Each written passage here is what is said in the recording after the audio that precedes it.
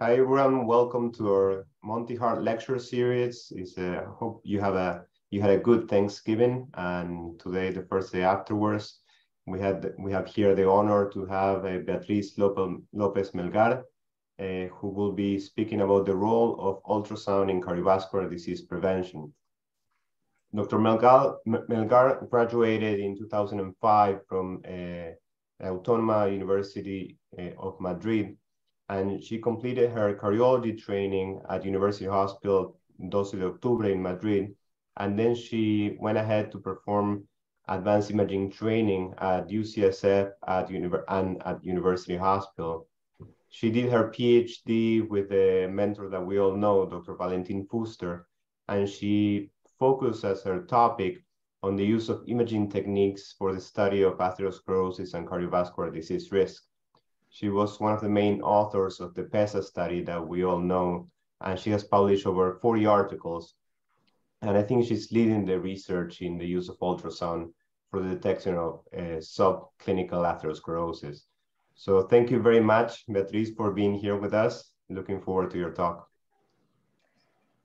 Well, good morning, everyone, and thank you, Leandro, for your introduction. And Thanks for your invitation. It's, this is truly an honor to be part of this fantastic series of conferences. And also it's a pleasure to speak here to a multimodality audience. I consider myself a, a multimodality imager too, but then I started my work in the population-based studies for cardiovascular disease risk prevention. And I realized the broad interface between preventive cardiology and imaging and how imagers, we, are in the best position, I think, to help implement preventive, preventive strategies in patients. And this talk will focus on ultrasound, but I think this concept uh, can be extended to CT and MR too.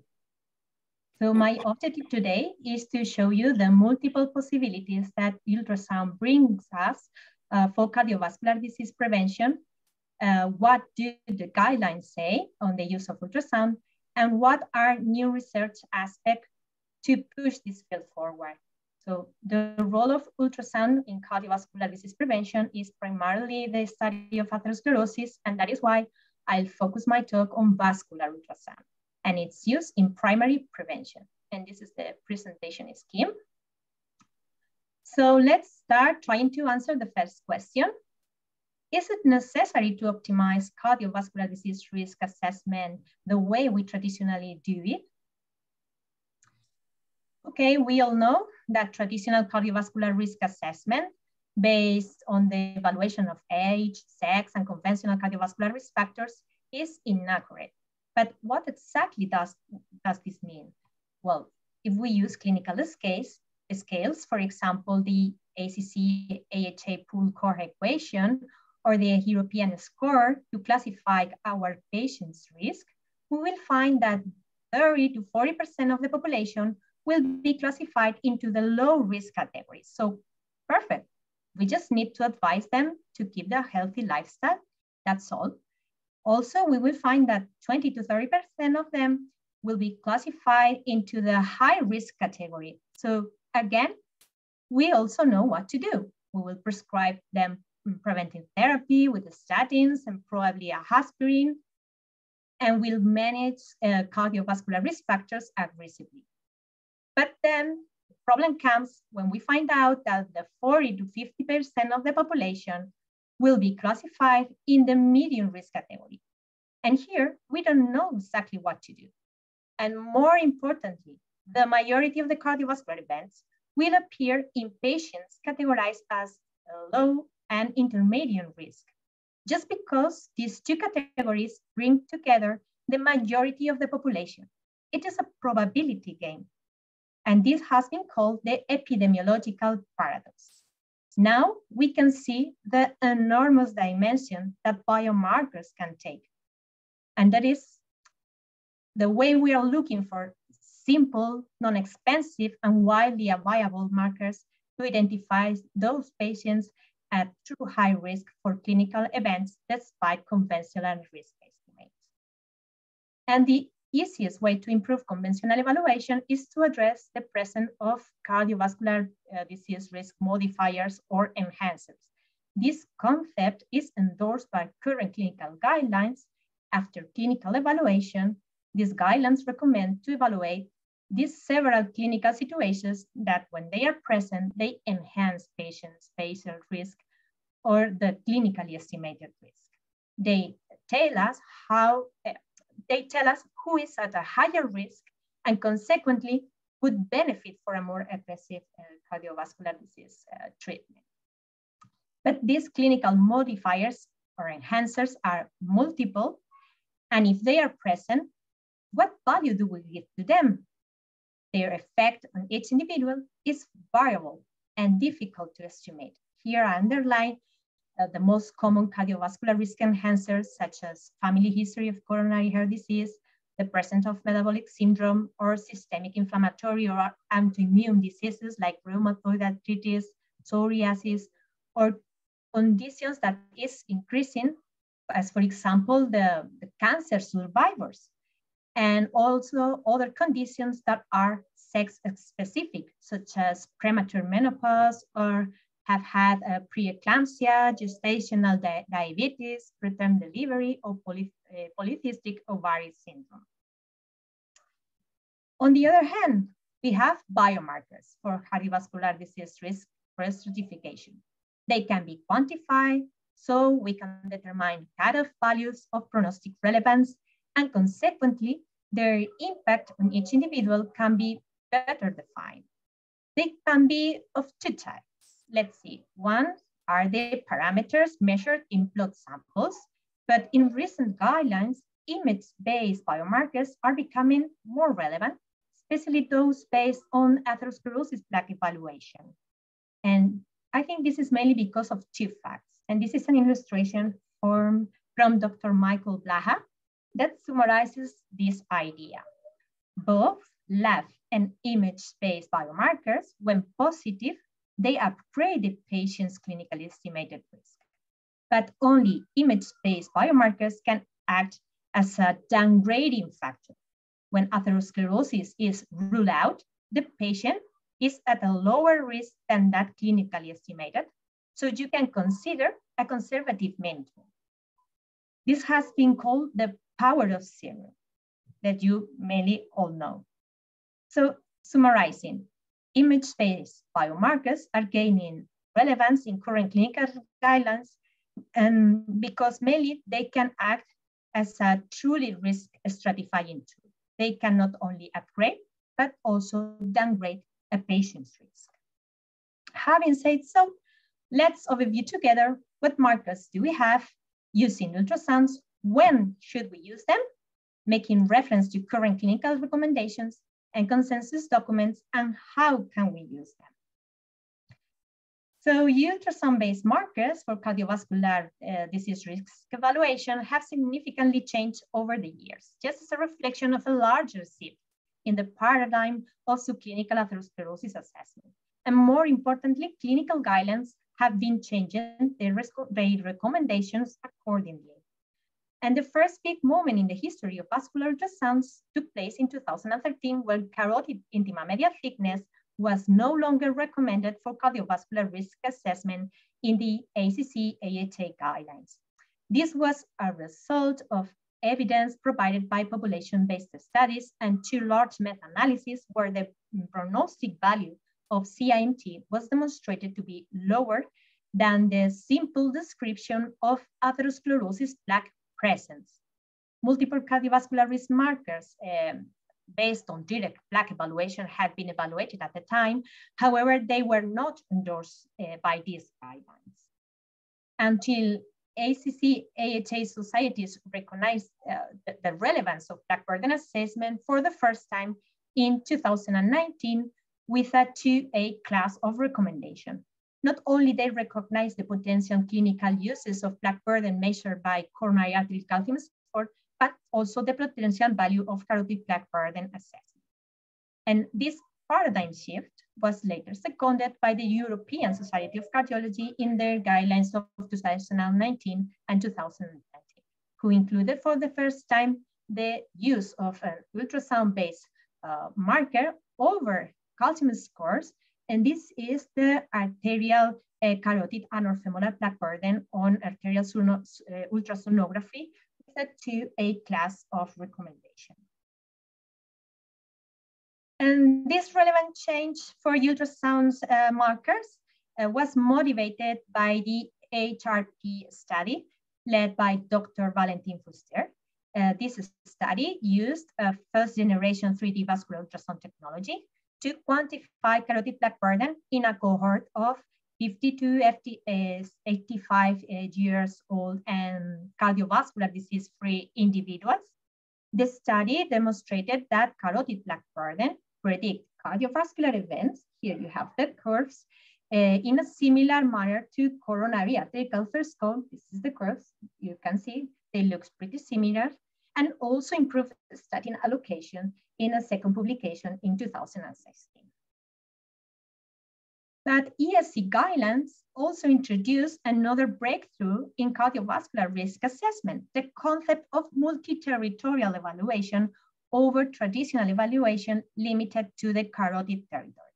And the PESA-CNIC Santander study here, led by Dr. Valentin Fuster, has contributed to this paradigm shift as it revealed that iliofemoral territory evaluated by vascular ultrasound was the most frequently affected territory by subclinical atherosclerosis over carotid territory, and more importantly, over coronary territory uh, evaluated by coronary artery calcium score. Moreover, PESA participants were evaluated uh, for carotid and femoral plaque burden by actual technology uh, in, in, 3D vascular ultrasound. And um, study results prove that femoral plaque volume, a simple um, marker re that relates to cardiovascular risk factors and estimated cardiovascular risk better than uh, carotid uh, plaque volume for these middle-aged individuals. And this is a frequent situation that I face in my clinical practice. This is the case of a young man of 41 years old with hypertension since he was 34, mild dyslipidemia and metabolic syndrome. And conventional clinical scores classified him in a low risk category but we all know that um, the limitation of clinical scores in young individuals, and especially when non-conventional risk factors are present. Thus, we explore the carotid territory, finding normal CIMT values and absence of carotid atherosclerotic plaques. Then we explored femoral territory and found a surprisingly high atherosclerosis burden for a young man. If I had not explored the femoral arteries, I would have missed critical information for managing this patient. Summarizing, atherosclerosis plaque burden is the currently accepted marker, not only for carotids, but also for femoral arteries, and preferably evaluated by 3D methods, if available, as stated by a recent uh, consensus document that I will uh, revise later. Let's now review the indications for the use of ultrasound imaging in cardiovascular uh, disease risk assessment using real clinical cases. Here, the first indication to classify patients. This is a 70, uh, sorry, a 57 years old woman with um, not treated dyslipidemia and family history of early coronary heart disease without other cardiovascular risk factors. With this information, it's reasonable to initiate the studies despite her clinically estimated risk of 2.6.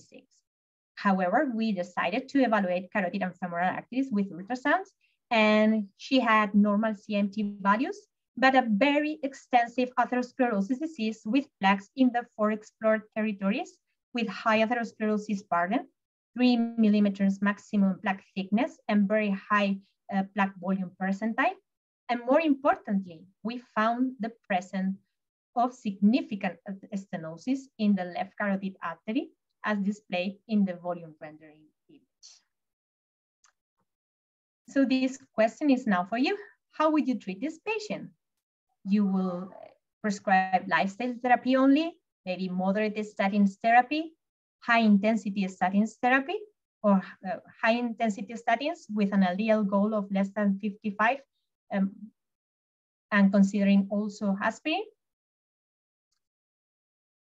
Okay, so looking at guidelines, to detect asymptomatic atherosclerotic plaques causing significant stenosis disease more than 50% is considered a clinical-like event and directly classifies your patient in a very high risk category.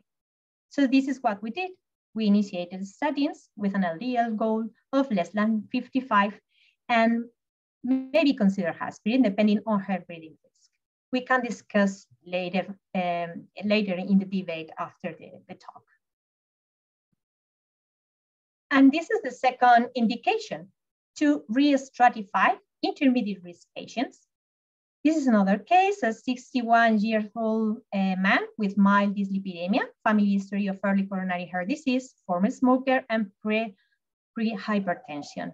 He was an intermediate risk patient with one risk enhancer, his family history, but he was reluctant to initiate a statin. So we performed carotid and femoral ultrasound and found very extensive disease with the four territories affected and again, mm, with very high uh, plaque burden.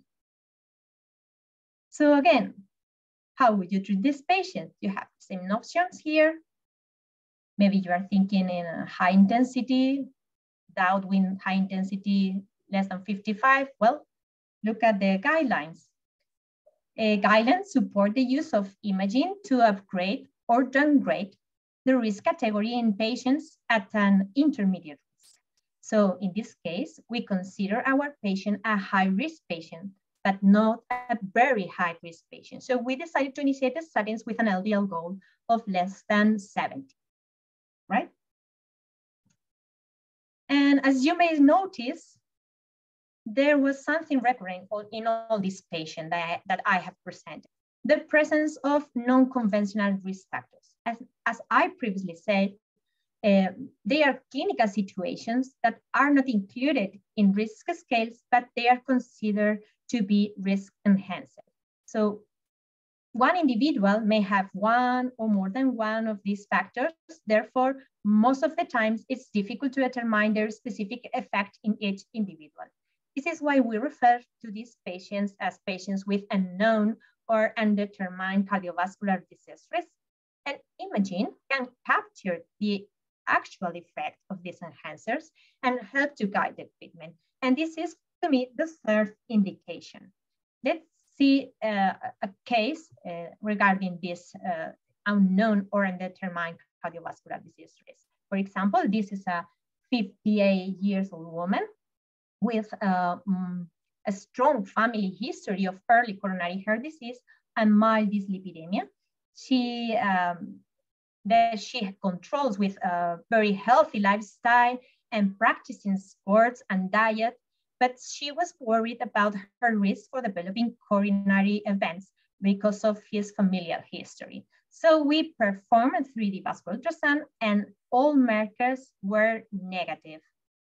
And what we have learned from PESA study that the probability of having a positive coronary artery calcium score in the absence of plaques in both the carotid and femoral territories is practically zero. So we didn't go for another test and just show her the results uh, of his negative echo and encourage her to continue her good habits.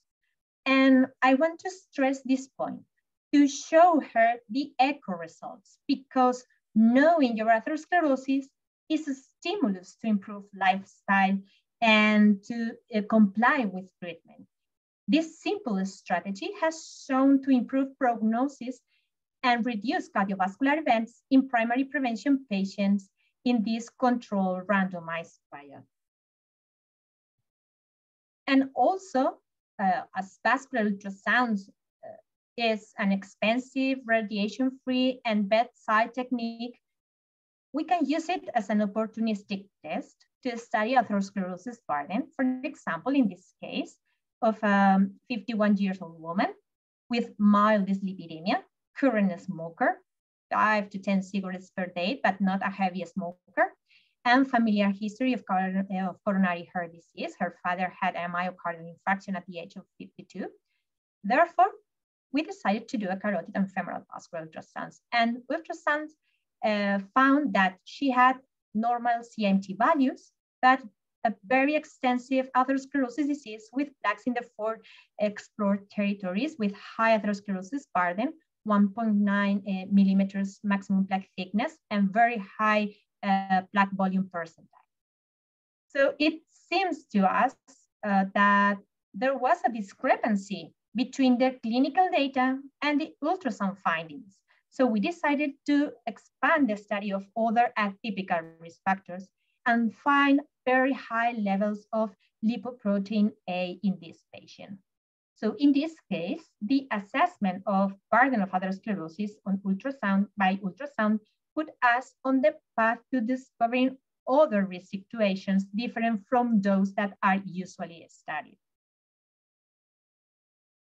So because overall atherosclerosis plaque burden assessment can help us in making difficult uh, clinical decisions, uh, this is a snapshot from the American guidelines for the management of dyslipidemias on the use of atherosclerosis burden assessment. Well, in this case, they refer mainly to the coronary artery calcium score to guide patients, uh, for example, reluctant to initiate the statins or those who wish to understand the risk and, and potential uh, benefit uh, more precisely, or for those patients concerned about the need to reinstitute the statin therapy after discontinuation for statin-associated symptoms.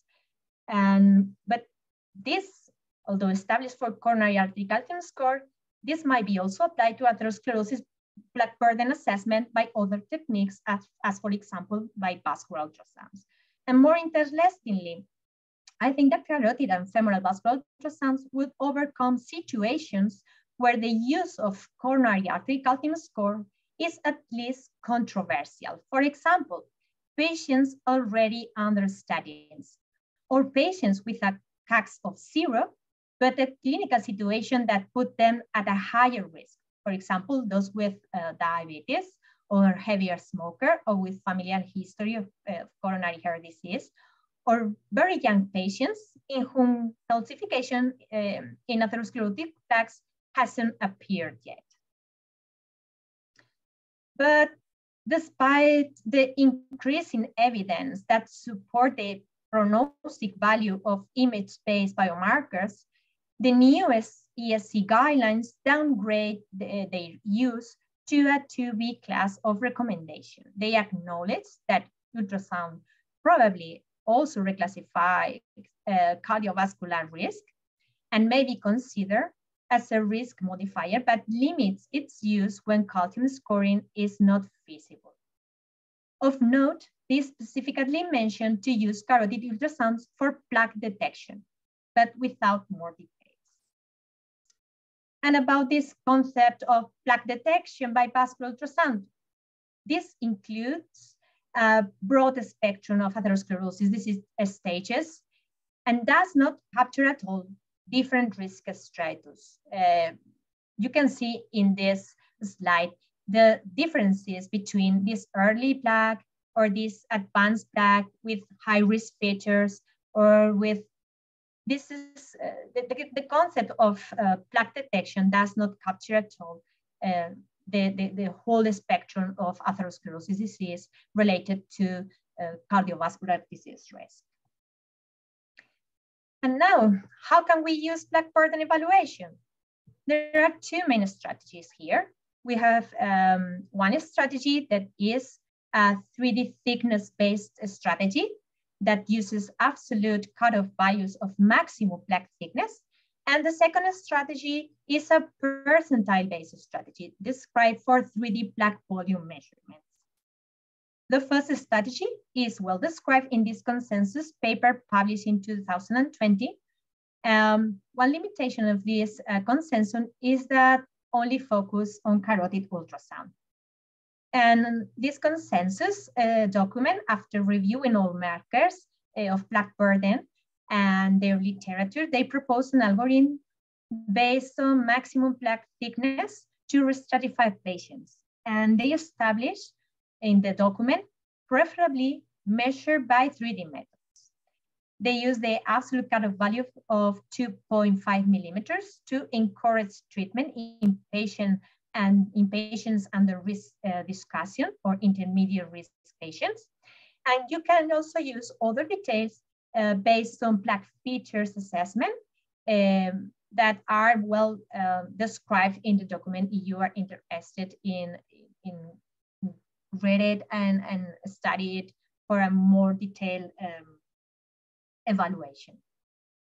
And the second one is the percentile-based strategy. Well, this strategy using percentile um, is uh, putting your patient in relation to a reference cohort for normality. Uh, this strategy have been used previously for other cardiovascular risk markers uh, like uh, CIMT and the calcium score too. In this regard, well, PESA study reported the values and percentiles of carotid and femoral plaque burden in, in its population. However, well, to use uh, this carotid and femoral plaque burden measurement in clinical practice in a similar manner to coronary artery calcium score, I think that more steps need to be taken. There is a clear need to conduct large multi-ethnic population-based studies to obtain normative data and determine cutoff values of that volume uh, of prognostic relevance. But before revising uh, the future directions of vascular ultrasound-based markers, I would like to raise here another question of interest, uh, that is, what about the cost benefit of using vascular ultrasound for allocating prevention, uh, preventive treatment on top of conventional clinical evaluation? And since there are not uh, published uh, studies on cost effectiveness uh, data, I share here with you the study that my group presented in the ESC Congress, whose aim was to know the potential value of using carotid and femoral 3D vascular ultrasounds in the real world. And the study shows uh, the results of the first cardiovascular disease uh, prevention program that uses 3D vascular ultrasound to guide preventive treatment. We included 163 patients referred to our unit uh, mainly because they were moderate risk or they had non-conventional or atypical risk factors. Uh, for example, family history and metabolic syndrome were the, were the most frequent reasons for referral. And after using conventional risk scales, the use of uh, percentiles of carotid plaque burden by 3D. And we look to see the proportion of patients that we will be able to reclassify following uh, this strategy. And among those patients under risk discussion, um, carotid plaque burden risk stratified 78% of them, recommending statins in half of them and discouraging statins in the other half. In the other half. So it can be potentially a useful tool. And contrary to what some colleagues say, I don't feel like uh, it will boost the prescription of the statins, or at least not as much as other venture. Um, if we make a correct selection of the patients who undergo this test. In addition, carotid plaque burden risk stratified 30% um, of low risk patients that uh, to recommend the statins. Uh, so it possibly improves the detection of low risk patients who would benefit from statin therapy. However, among high risk individuals, carotid, um, carotid uh, plaque burden discouraging statins uh, in 61% of them so it seems to be limited uh, of limited value in already high risk patients by clinical scores. And last but not least, uh, what are future directions in cardiovascular disease risk prevention using vascular ultrasounds? Well, from, from my point of view, the milestones that will transform clinical um, recommendations in the near future will be first, the evaluation of plaque progression, and second, the vulnerable plaque burden assessment. And why plaque progression? Because it is a necessary step between subclinical atherosclerosis and plaque rupture. And plaque progression also gathers the three key aspects in the paradigm of cardiovascular uh, risk assessment. They are plaque development, disease extent, and the presence of adverse plaque features. And more importantly, plaque progression can be halted by intensive lipid lowering therapy. Plaque progression is gaining such relevance that some scientific groups are suggesting to establish treatment goals of secondary prevention for patients with plaque progression. And vascular ultrasound seems to be more sensitive in detecting plaque progression than calcium score. This issue was addressed by the PESA study and showed that the new disease onset and disease progression were detected five to 10 times more frequently in non-coronary vessels assessed by 2D 3D vascular ultrasound than in coronary arteries assessed by coronary artery calcium score. And finally, the assessment of vulnerable uh, plaque burden as suggested by the SCOT-HEART trial, a cornerstone clinical trial on the prognosis value of CCT angiography. And this study described how low attenuation plaque burden is a precise marker of cardiovascular uh, risk that predicts MACE events independent of the percentage of plaque, of plaque stenosis, independent of calcium score, and for the first time, independent of overall plaque burden. And this new marker can also be evaluated by vascular ultrasound. However, any accurate evaluation of the combined study of plaque burden and plaque features is only possible with novel 3D technologies that are currently uh, being developed. In this example, this is a video of the new uh, 3D analysis tool that is uh, driven by uh, artificial intelligence uh, analysis algorithms, looking for a more fast, simple, reliable, and with uh, very low uh, inter and inter-observer variability that is currently developed. And also you have here the new possibility using these uh, artificial intelligent algorithms to evaluate um, plaque composition in the whole 3D vessel volume analysis. So in conclusion, the uh, five takeaways. I think that the history of ultrasound-based marker is ultimately the history of subclinical atherosclerosis evaluation for cardiovascular disease risk assessment. Um, carotid and femoral plaque burden is the ultrasound-based marker recommended by current clinical guidelines. And strategies for use in clinical practice are currently under evaluation and recommend primarily 2D plaque um, measurements, such as plaque thickness, but ideally assessed with a 3D method. And if you have a 3D method, of course, use them plaque volume too. And the advent of new 3D methods for sure will enhance the evaluation of plaque progression and adverse plaque uh, burden as future markers of cardiovascular disease risk. Uh, because to me, the ultimate goal of these techniques is to make ultrasound competitive in terms of accuracy for cardiovascular disease risk prediction against computer tomography and magnetic uh, resonance imaging, because ultrasounds are already competitive uh, in terms of cost and availability. So thank you for your attention and I'd be delighted to answer any questions. Thank you so much, uh, Beatriz. This was amazing. Uh, I think you, like I mentioned before, I think you're pushing the limits in a in a very interesting topic and, and unique technology that could be applied all over the world. Uh, so please put your questions in the in the Q and A, and you have there the the code for for CME. Uh, so I think as a, as a first question, we can start with one from Daniel Lorenzati that I think in part you answer, but he says, what do you think is the best cost benefit approach for the evaluation of subclinical atherosclerosis? Should we look in all the vascular territories, combining CAC and ultrasound, or is there any clinical context when we can do just one and not the other? Okay, well, I think the, the key point here is to evaluate atherosclerosis plaque burden in the individual. If you uh, no, if you have doubts or you are not confident with your clinical decision, because it's the the marker that is going to help you best um, in comparison to many others that have been studied previously. And second, use the technique that is available in your in your center.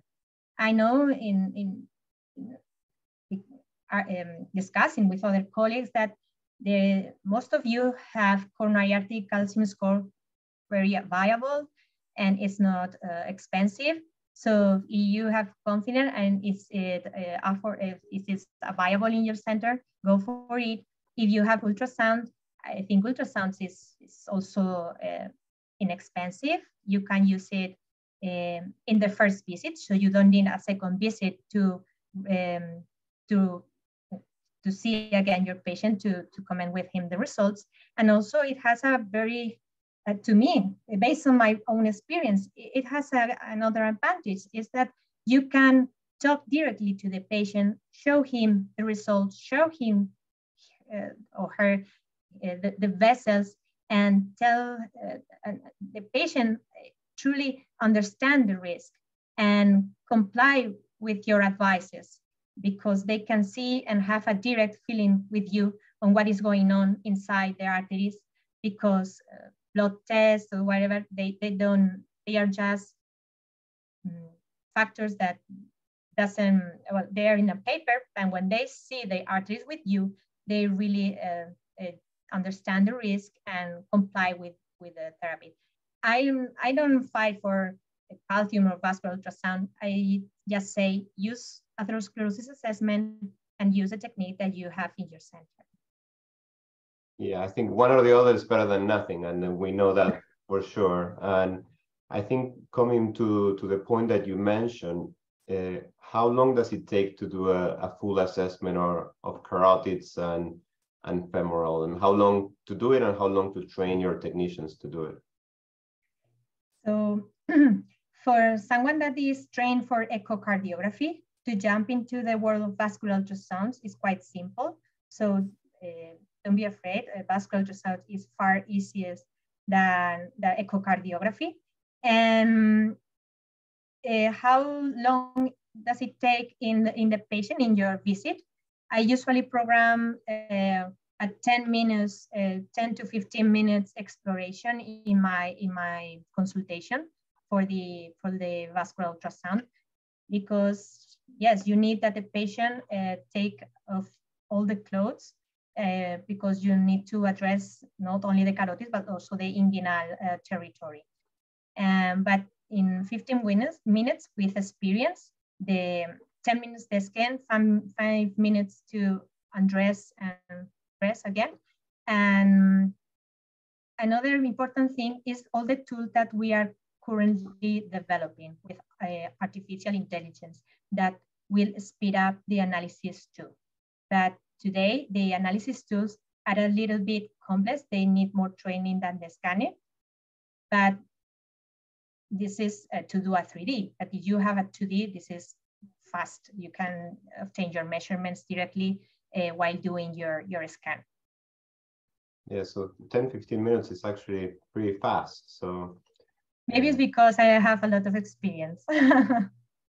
yeah, no, but that's that's good. That's a that's a goal at least. So a question from uh, Rob Ostfeld, or dire director of uh, preventive cardiology, says, are there ultrasound imaging strategies you suggest as an outcome measure for research studies investigating the short-term impact of interventions, either medications or lifestyle interventions on plaque?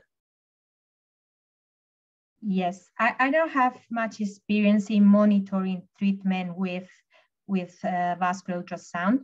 Uh, there are other groups that have uh, they have done it, and they are very optimistic in in reporting that they can detect changes very early in three months of follow-up, something like that.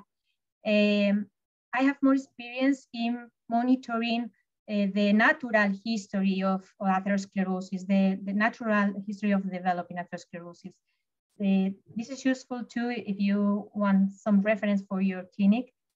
If you are following a patient without treatment or with a, a lifestyle intervention, maybe you can re-scan uh, its, um, it depends on their basal risk. If they are low risk, I wouldn't repeat an echo uh, before three years, more or less. And but the, if they are moderate or high risk, maybe you can go for an echo uh, yearly to see to see changes in, in, in atherosclerosis How do you, I think following that question, how do you define a progression or, or regression? Are there any cutoffs or use changes in percentile? Mm -hmm. It was, it is challenging. It is challenging. In fact, when we uh, study a progression in PESA study, we were revising a lot of uh, bibliography and nothing was um, nothing was conventionally established yet. So we decided to base to, to set up a new definition based in two things. One is the, the variability of the measurements because we define progression and regression in 2D vascular ultrasounds and in 3D vascular ultrasound. And taking into account the, the, the variability of the measurement and the natural uh, history in, in the PESA study, uh, we established, um, but you can read the paper. I remember it was the development of two plaques in, detected by 2D or 3D plaque presence in the four territories. So if you check the, the two carotids and the two femorals, the development of two plaques in three years, it was considered progression. And uh, to double the plaque volume uh, in three years, it was considered also progression. And we, I think the progression that we, the definition of progression in 3D was very high because we had very small plaques because PESA participants are very young. So you need to double a plaque from five millimeters cube, let's say, to 10 millimeters cube to avoid variability and establish that they are truly progressing. That's uh, that's that's very interesting. Thank you very much. Um, I think in we we had the last last week we had Dr. Uh, Shapiro talking about the early interventions and the, the larger effects of early interventions when you treat lipids throughout life, through, through lifespan. So um, what do you think are the reasonable ages to start screening patients with ultrasound? Is it 30s, 20s, 40s? Um, but this is, I, I, I don't think I understand uh, well to give to give uh, statins without I mean, evaluating. To, no, to start to start the evaluation. What do you think is in your patients? What what age do you use as a cutoff to do the first ultrasound to to evaluate? Oh, I, to answer this question, I just um, make reference to the guidelines. Uh, I will check carotid and femoral arteries when the patient needs to be evaluated uh, on his or her cardiovascular disease risk. And current guidelines recommend to do it at least um, in patients with one cardiovascular risk factors uh, in, when they are 40 years old, or if they are if they have known cardiovascular risk factors, I think they recommend to do it later in the 50 years old. Uh, I don't exactly remember, but I will follow the recommendation of clinical guidance to start a cardiovascular disease risk assessment. Yeah, I think that, that makes sense. And the, the, the burden, I, I think here, at least in, in the Bronx where we work, we see a, such a high burden of, of cardiovascular risk factors, even in the younger. I'm not sure the Bronx, but in the US, I think with the incidence of obesity and, and, and the food uh, that people here. So uh, I think following that, there's an, another question by Rob Ostfeld. Uh, what, in, what interventions do you expect can cause regression in atherosclerotic plaque uh, and or thicken the, fi the fibrous cap? He's saying, I think is, are they have you seen any interventions in lifestyle or only statins or has that been studied? I think that's where he's aiming with the question. Um, yes, well, I tried to answer this with this with um, analysis that we did in the PESA study. We tried to uh, find out at which level of LDL cholesterol people don't people don't have atherosclerosis, and we find out that you have to be an LDL you have to have an LDL level of cholesterol less than 70 to don't develop atherosclerosis. So I would say that the interventions that uh, down, uh, low down the, the level of LDL are the only intervention that may um, the, the halted uh, atherosclerosis progression or atherosclerosis development. I think LDL is still the key factor here. That sounds great. No matter how you you you down down the levels of LDL, this is by diet, lifestyle. For sure, this is better because you control other cardiovascular risk factors if you improve your lifestyles. You control also hypertension, obesity, etc. But if you, uh, despite this lifestyle, your LDL is still high, you will need uh, statins or uh, any other lipid drug therapy to, to uh, down, put down your levels of LDL. I think still the key here. I like that. I love that idea. Not everyone has the same effects with the intervention as well. So we have a way to measure it that is the LDL level. So uh, that should be measured. I agree. So uh, thank you very much. I think this was a, a very, very interesting topic and, and an outstanding lecture. And so I look forward to, to see more research in the topic and possibly in different populations and with different interventions. It's so promising. And, and hopefully we'll, we'll see you around New York or in Madrid soon. Oh, I hope. Uh, I will be happy to welcome you here to Spain, to Madrid. Okay, thank you very much. Thank you. Bye. Bye, gracias.